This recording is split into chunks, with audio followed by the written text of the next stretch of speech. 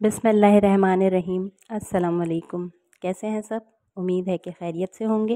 Welcome back to my channel.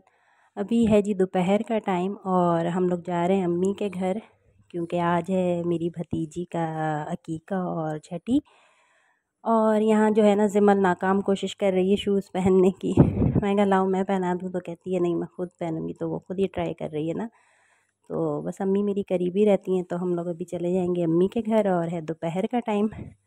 तो जब मैं अम्मी के घर पहुँची तो अम्मी यहाँ बना रही थी खाना और खाने में बना रही थी मटन कढ़ाई।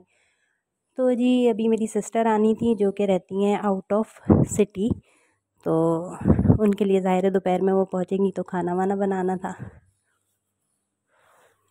तो अम्मी बना रही थी कढ़ाई तो फिर मैंने कहा कि लाएँ, मैं बना देती हूँ।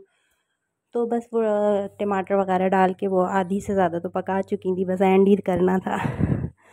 तो फिर मैंने कहा, लाए, जो रहता है वो मैं देख लेती हूँ, आप दूसरे काम कर लें। तो फिर, बस यहाँ कढ़ाई तकरीबन रेडी हो चुकी है और अब मैं दम लगा दूँगी बस। और उसके बाद हालाँकि सुबह में ना हेल्पर सफ़ाई कर कर गई थी, लेकिन बस बच्चे हैं और हेल्पर की सफ़ाई ऐसी ही होती है कि बस ऊपरी ऊपरी करती हैं। तो यहाँ फिर मैंने ना एक दफ़ा फिर से झाड़ू फेर दी क्योंकि घर में कोई फ़ंक्शन होना तो घर साफ़ सुथरा ही अच्छा लगता है। खैर, हमने किसी को बोला नहीं था और कोई बड़ी दावत नहीं थी।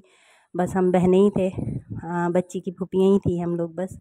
और और किसी को नहीं बोला था।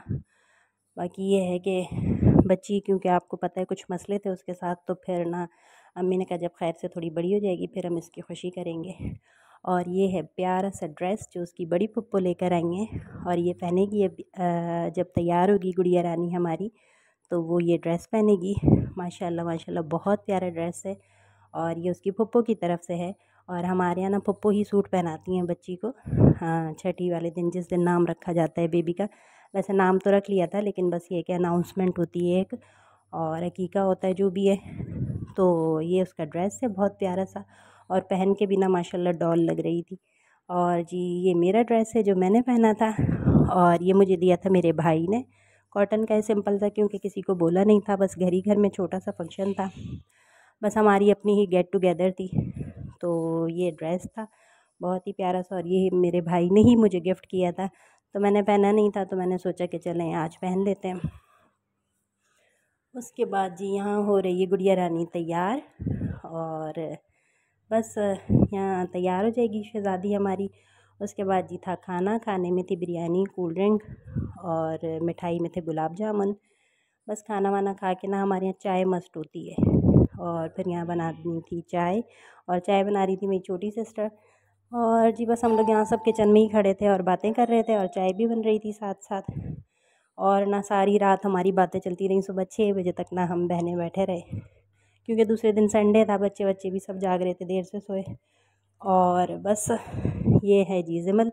और ये ना यहाँ लॉक हो गई है। इससे ना नीचे उतरा नहीं जा रहा क्योंकि मेरी टांग है। और बस ये यहाँ से उतर रही है नीचे।